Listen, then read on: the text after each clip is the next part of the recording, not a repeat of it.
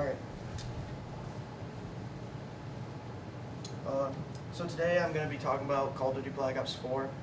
I don't know if any of you guys played it, but it has to be the most annoying Call of Duty that you'll ever play compared to any other one. In the game, there's many things that are very annoying. So let's say you're playing Hardpoint, you're on a really high gun streak, and then boom, you die from a corner camper.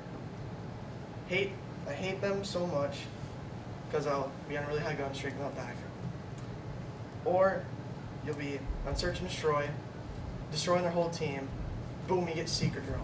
If you guys don't know what that is, you literally can't do anything to stop it.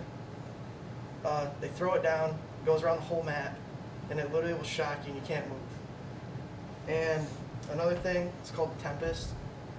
It, if you shoot it at someone, it'll spread and it'll go toward other people, and it can kill the whole team, and it's insane.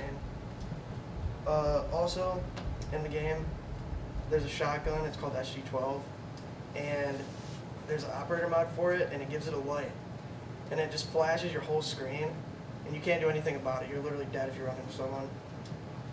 And there's a person. His, he's called Ajax, and he gets like a shield, and he can shoot while he has it. And it's probably the most annoying thing ever because the only way you're killing him is if he's not crouched and his feet are showing.